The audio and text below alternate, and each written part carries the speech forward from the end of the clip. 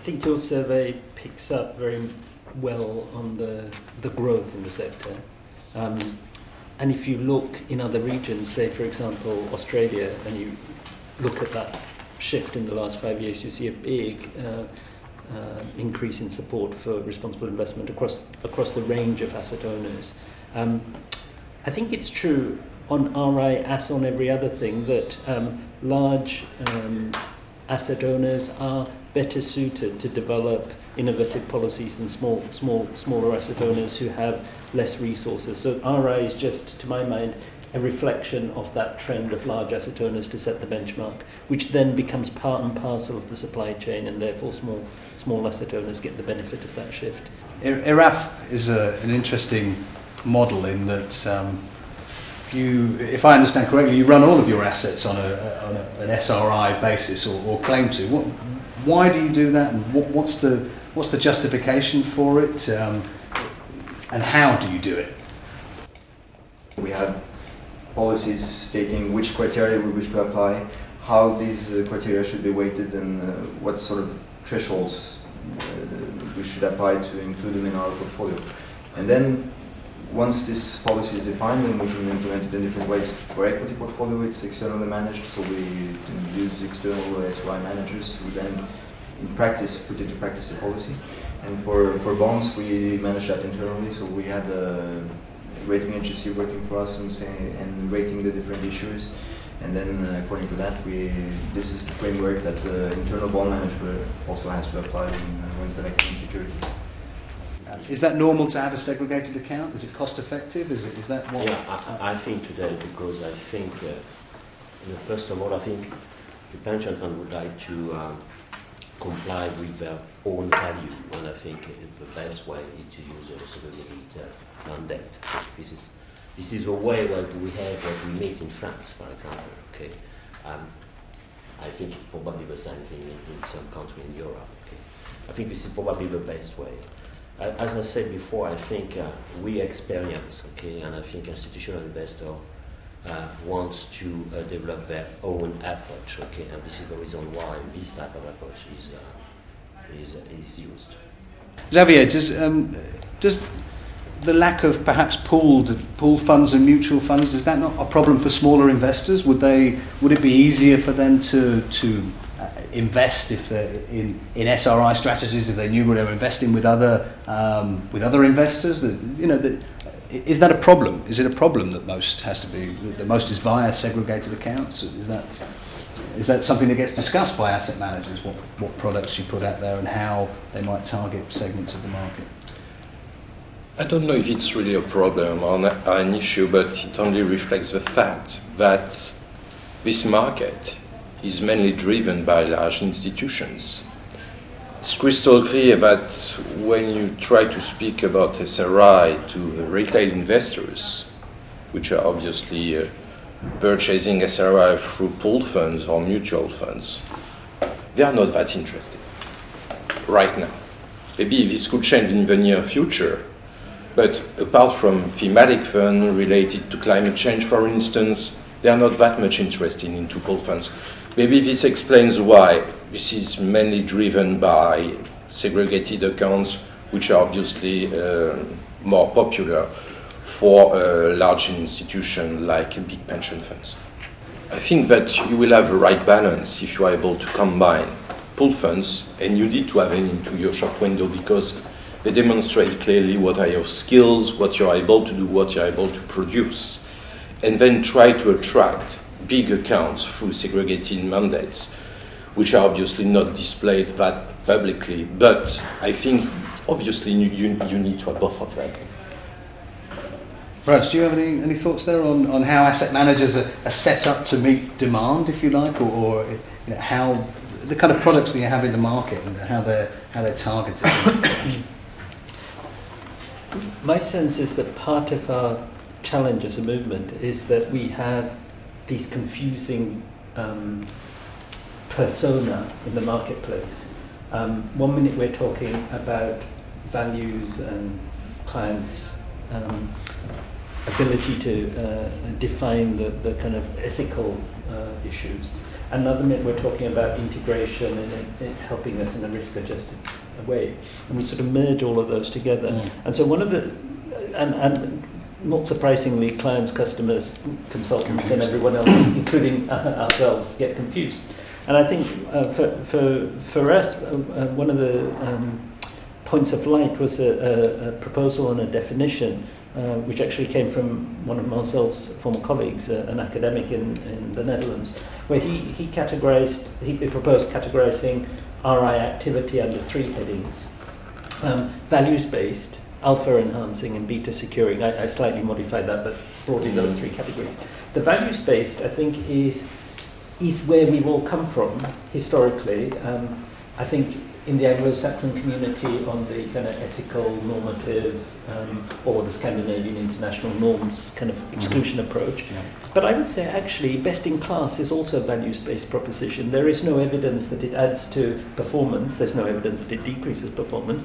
It's a value that you would like your money to be allocated to some kind of good corporate citizen. Yeah, and that's that's a values proposition. Mm-hmm. Then you have, I think, the newer categories around better risk-adjusted returns. And here, I, uh, I think there is growing evidence that it does add to performance in a risk-adjusted sense, um, and certainly where you can where you can look at particular issues in particular markets, be they corporate governance or human capital, whatever. And then the, the beta securing the idea of you're exposed to a large market uh, index, and your ability to match your liabilities is related to that. Now, I think the interesting thing about that classification is then it allows you to have a discussion with your clients about which, which balance you might want. So, for example, with a segregated, a large institutional asset owner, you might want quite a lot of beta type of RI activity because that, that asset owner will forever be exposed to that national market.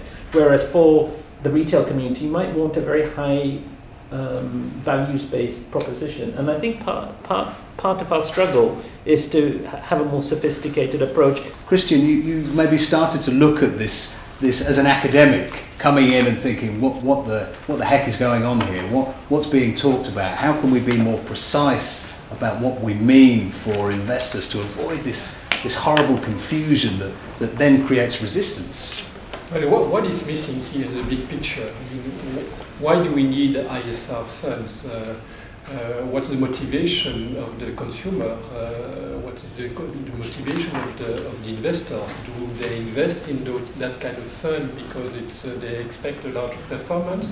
Or do they invest in those funds because they believe that, uh, I mean, they, they value, uh, that's an important term mm. to be used. Alan, I'd be interested in hearing what your follow up on, on what's been discussed and maybe on, on that as well. Mm-hmm. Because you, you don't invest at the moment, so it'd yeah. be interesting to hear what you might be persuaded by and whether the, the integration approach could be persuasive or you would, you would plump for something you can put your finger on very easily. Okay, well, firstly, just, just going back to what I was saying, it's kind of uh, about who's giving what signals to who, and it's kind of, it's a little bit my mind a bit chicken and egg really, who's, yeah, who's should, should it be the asset owners that give the signals before asset managers provide um, attractive products? And it, it brought, it brought me back in my mind at least to a question you raised right at the beginning um, about which types of funds have the sort of expertise and knowledge to be able to even look at these things. And to even to send signals, you need someone internally at an asset owner who knows what questions to ask to send those signals. And I think a lot of funds or asset owners don't have people necessarily are um, as aware about responsible investment, all those various definitions and permutations as others. So um, it's quite unique that, um, even though we're not a pension fund, but sort of analogous in some ways to one, it's, it's quite unique that there is someone in myself who's dedicated on this in the fund. There's not many other funds that I'm aware of, in the UK at mm. least, especially not of our size. Um, and I think if you don't have someone who is dedicated or at least fairly aware of things, and it's just down to the trustees. It's quite, I think it's quite different, difficult as a trustee, an uninformed um, but nonetheless intelligent trustee to actually know what questions to ask. And perhaps you're just left with this kind of residual feeling that unfortunately still exists that you have to give up performance to do this. Is that breeding potential problems down the line if the performance is, is bad in comparison to As to, long another- as, to, uh, to your neighbour? You know, As long as you apply, uh, uh, I think, uh, as a right criteria on only on one investment line that you can choose, I think there is no issue. But uh, when you have, you get on ESG and issues on the entire portfolio of a pension fund, then you have to think about these things. The other part of the customer, I think it's a difficult customer. So to these people, internally we have, of course, to discuss on ESG and all these developments, which are developments I think uh, on the table of every pension fund, we cannot say, okay, we, we close our eyes.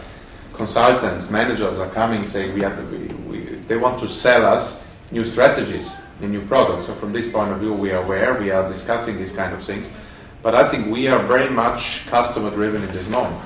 So what the customer wants, you have to give him. If he wants focused on environment issues, we have to a little bit think about these kind of things, at least put it in the first line of the disclosure.